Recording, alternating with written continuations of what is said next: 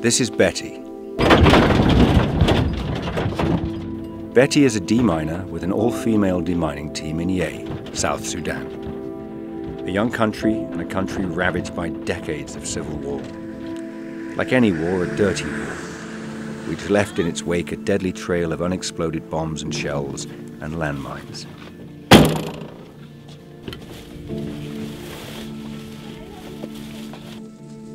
In a country with heat averaging 110 degrees, even a sliver of shadow might have been mined.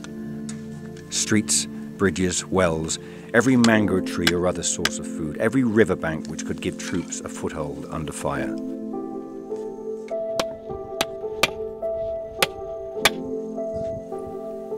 It spreads fear. A fear which cripples economies and sometimes whole communities. A fear of mines which may not even be there. But how can they know?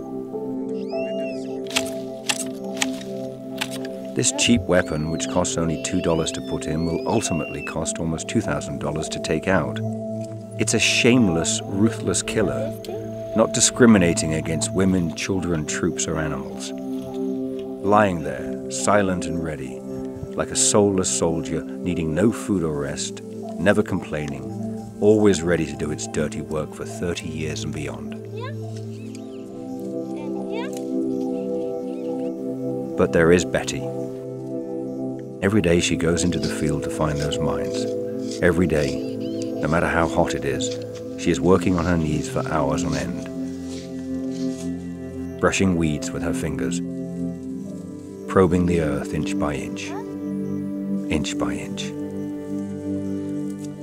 She is dedicated to finding what absolutely must be found. Every mine she finds is one less waiting to kill or injure, Every square inch of soil she declares mine free is a square inch more of relief, a bit more future for a whole region. This is Betty. When her day is over, she will go back to her camp, but you can be sure she will be back the next day, and every day, until the last mine is gone.